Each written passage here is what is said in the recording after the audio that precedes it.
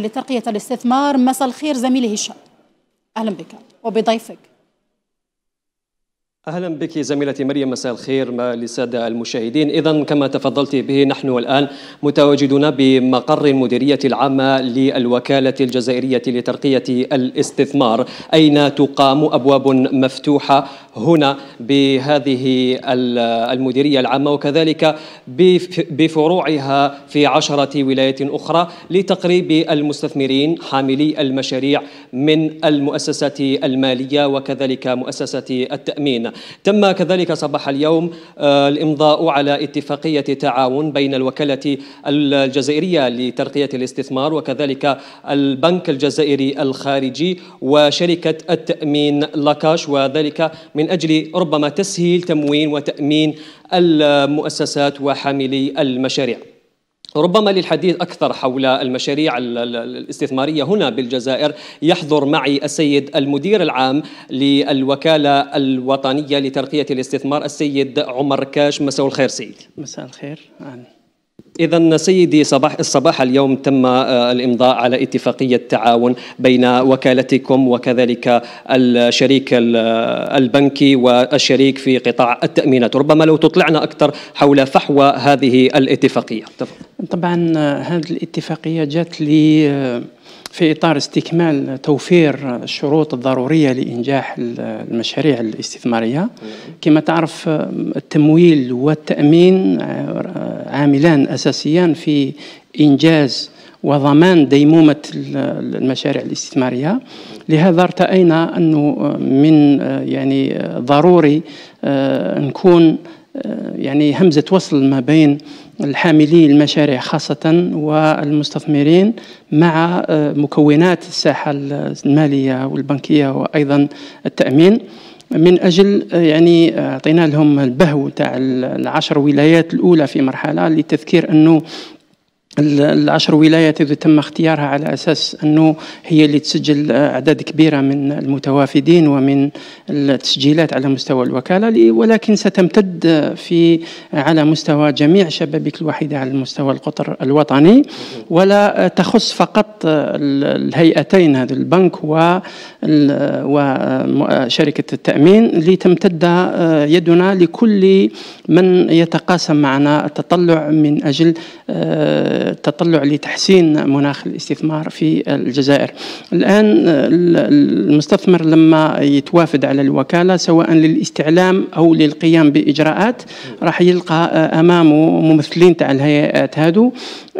ربما الحصول على فرصة تمويل الحصول على فرصة تأمين. أيضا يتقاسم معنا نتقاسم معه المشاريع الناجحة. نحاول أن نقلب يعني المعادلة أنه المستثمر مش هو اللي يروح للبنك أو مؤسسة التأمين ولكن العكس. يعني الآن آه، آه، نتطلع أن تلعب البنوك دورا أكثر آه، في مجال الاستثمار. وهي اللي تعرض خدماتها. هي أيضا تساهم في يعني إنضاج المشاريع الاستثمارية عن طريق توفير يعني الفرص المهمة وحتى المشاريع المربحة بحكم أنهم عندهم خبرة كبيرة في في دراسة المشاريع الاستثمارية. سيد عمر كاش ربما بالحديث كما تفضلتم أنه الاستثمار يعني التمويل وكذلك التأمين. بحكم هذه الاتفاقية هل سيستفيد ربما حاملي المشاريع من امتيازات سيستفيدون منها؟ أكيد يعني الهدف الأساسي آه، الهدف الأساسي منها هو أنه اولا المؤسسة المعنية تقدم خدمة وأيضا تقدم تسهيل ومن بين التسهيلات تقدم تخفيضات. يعني هذا هو المراد من هذه الاتفاقية.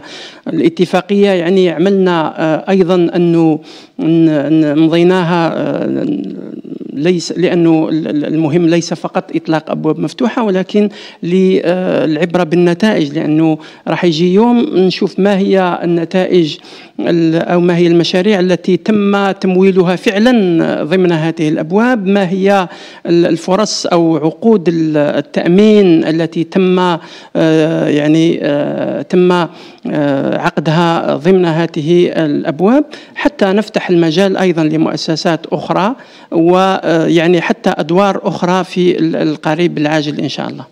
نتمنى ذلك. بالحديث ربما عن نقطة مهمة ربما تؤرق بعض المستثمرين وحاملي المشاريع هي نقطة تكلفة القروض. يعتبرونها مرتفعة خاصة بالنسبة للمؤسسات المصغرة الصغيرة التي ربما لا تشغل أكثر من خمسين عامل.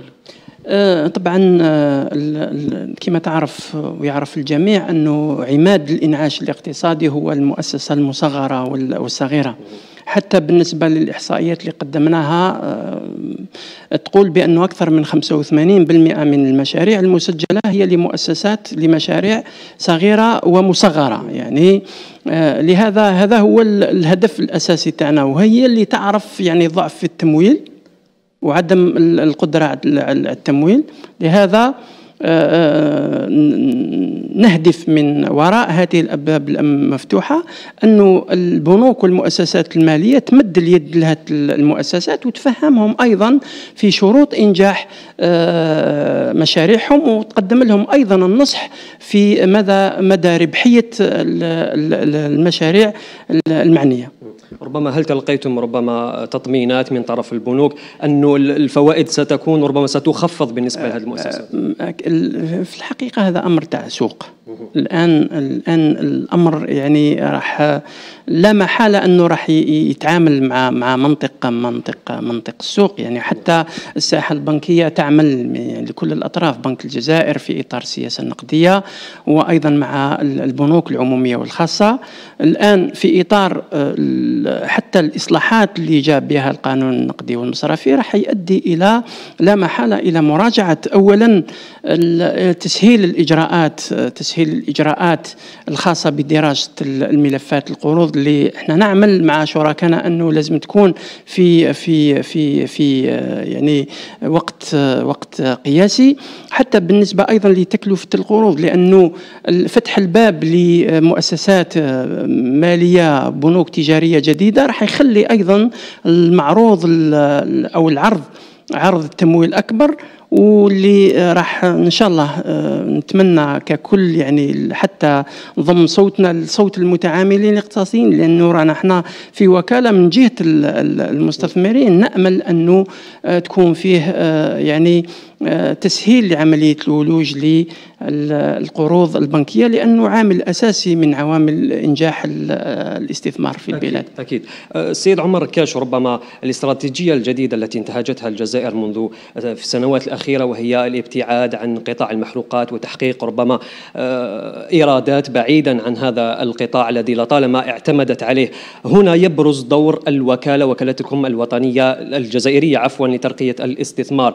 لو تحدث حدثنا عن أرقام الاستثمارات المسجلة على مستوى وكالتكم آه، أرقام الاستثمارات بالنسبة فيه شقين من من الأرقام أولا الوكالة تعمل منذ تنصيبها على تطهير آه، ما ورثته عن الوكالة الوطنية لتطوير الاستثمار سابقا آه، عن طريق تقديم المرافقة والدعم لمؤسسات عرفت مطبات عرفت بعض العراقيل في من في مرحلة الإنجاز.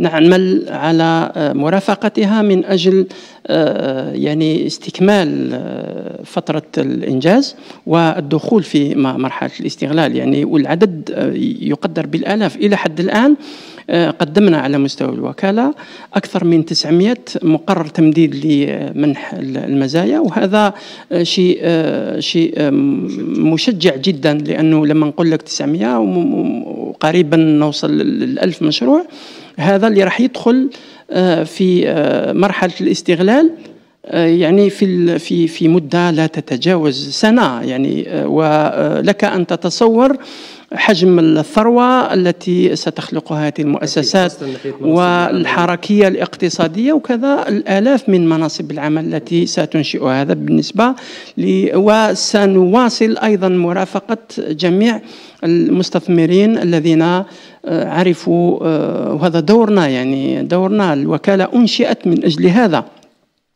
المرحلة الثانية هو تيسير عملية التسجيل. تيسير عملية التسجيل خلال سنة كنا قدمنا لكم الرقم آه، إلى غاية 31 أكتوبر تم تسجيل 4193 مشروع منها 84 مرتبط بأجانب يعني سواء بمشاريع أجنبية مباشرة أو بالشراكة مع مع أجانب. الآن الهدف تاعنا يتجاوز آه، تقديم إحصائيات مجردة حول التسجيل ولكن يتعدى ذلك إلى آه، إدخال الفعلي لهذه المشاريع في حيز الإنجاز. لهذا آه، مرينا إلى السرعة القصوى في مرحلة ثانية وهي عملية المتابعة.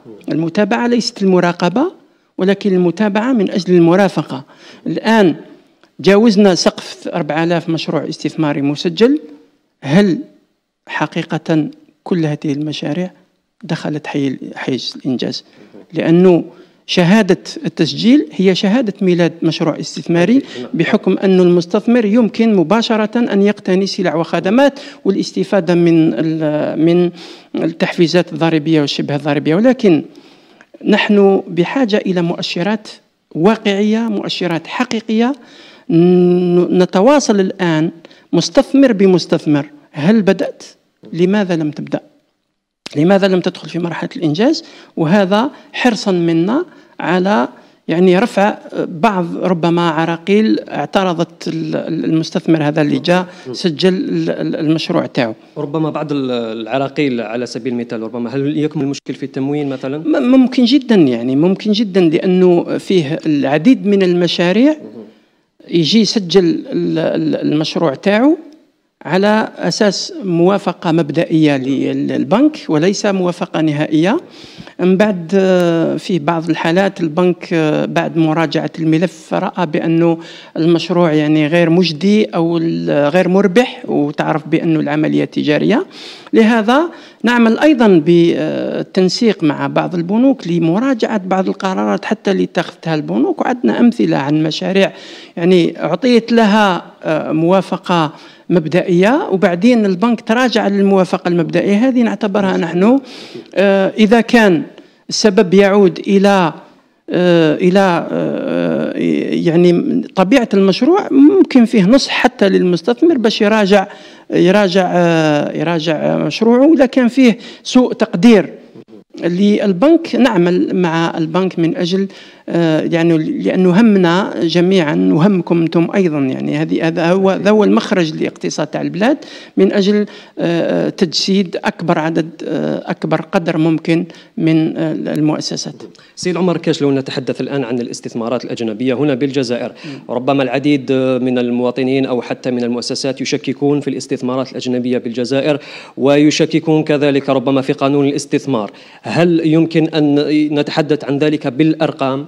والله آه، نظرية المؤامرة موجودة يعني في كل آه، إحنا يعني الحديث هذا هذه ليست مجرد أرقام ولكن آه، قوائم تاع مؤسسات لو عندنا الوقت نعطيها لكم قائمة بقائمة 84 مشروع استثماري مرتبط بأجانب هذه الأجانب يعني ربما فيه اعتقاد أنه يقول لك هذا جديد ولكن فيه أيضا العديد من المستثمرين المتواجدين في الجزائر واللي قاموا أدري كان زميلي هشام يستمع لنا. طيب هشام استثمارات في سياق ما يعني يتحدث عنه ضيفك آه، رجاء آه، أن تسأله عن أهم ربما آه، مجالات الاستثمار التي يتوجه لها الشباب أو الأجانب حتى. تفضل.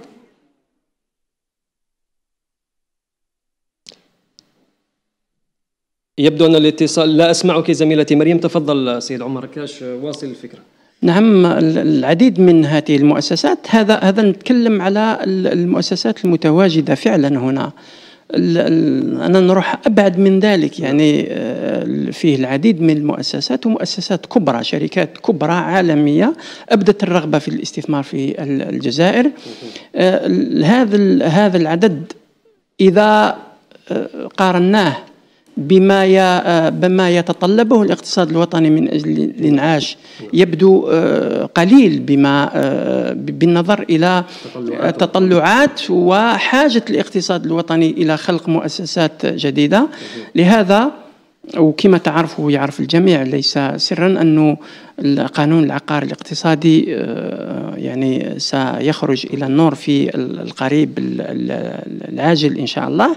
هذا سيعطي آه، دفع آه، قوي وقوي جدا للاستثمار خاصة الاستثمار الأجنبي لأنه حتى الاستثمار الأجنبي لما يجي وأنت ما عندكش عقار ما لهذا آه الآن نعطيكم مئات الرغبات الاستثمار حتى من شركات كما قلت سبق لي وقلت شركات عالمية ولدي يعني أمل كبير آه، بأنه آه، سنة 2024 ستكون سنة إقلاع الاستثمار في الجزائر لأنه سيكون فيها استكمال كل حلقات المهمة الركائز الأساسية آه، التسهيلات عن طريق الشباك الوحيد وتفعيله القانون النقدي والمصرفي قانون العقار اذا آه، لم لم يبقى إلا إرادة تجسيد كل هذا وباذن الله يعني الالتزام السيد عبد المجيد تبون رئيس الجمهورية في سنراه في سنة 2024 ويعني آه، سنضرب لكم موعدا بنتائج ملموسة على أرض الواقع آه، خلال الأشهر القليلة القادمة.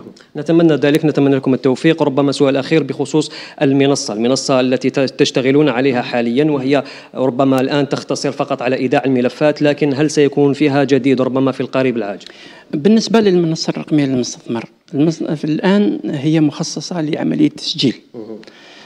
تسجيل الاستثمارات أي مستثمر يقدر يسجل الاستثمار تاعو على المنصة invest.gov.dz نعم.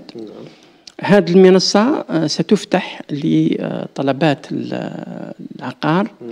بعد المصادقة على القانون والذي سيتبع مباشرة بالمصادقة على النصوص التطبيقية الخاصة به ومباشرة بعدها ستكون المنصة الرقمية جاهزة لاستقبال طلبات المستثمرين وأيضا لتقديم يعني آه، آه، أرضية معلوماتية عن كل ما يتعلق بإجراءات الاستثمار عن الفرص الاستثمارية المتاحة وعن حتى عن المؤهلات لأنه في كثير من الضفة الأخرى ينتظرون منا تقديم المؤهلات تقديم المزايا المقارنة التي آه، يجب علينا إظهارها لأنه بلدنا بلد قارة ولديه من الإمكانيات ما آه، ما لا يوجد في العديد من من من من الدول.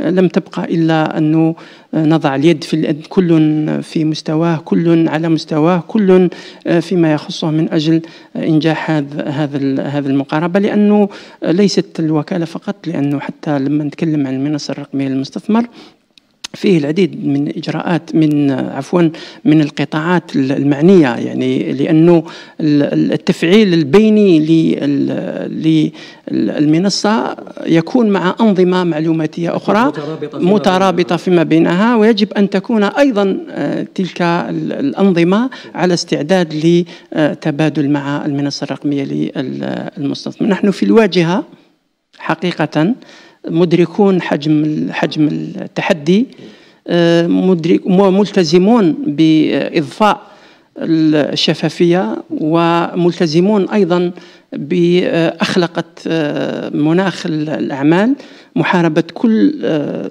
أوجه يعني المحسوبية عبر اضفاء هذه الشفافية. رسالة السيد رئيس الجمهورية واضحة ونحن نعمل بجد على أن تكون بيئتنا بيئة شفافة بيئة جذابة للاستثمار.